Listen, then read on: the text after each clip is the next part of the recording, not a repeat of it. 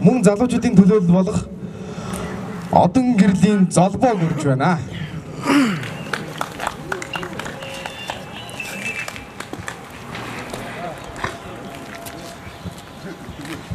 За сайн бацхан та бүхэн энэ өдрийн амгалан айлтгая.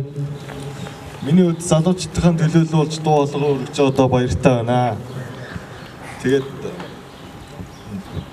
дэлхийн нэр хүндтэй их сургуульд боловсрол эзэмшсэн нэр дэвшигч отхон үлзий танд залуучдынхаа өмнөөс дэмжиж байгаа илэрхийлж байгаа шүү. Тэгээд нийт хорооныхоо залуучууд болон нийт оюутан залуустаа цаашд нь сурлага хөтөлмөрт гүүр болж өгөхийг хүсэж байна. За ингээд залуучууд таныг дэмжиж байгаа шүү.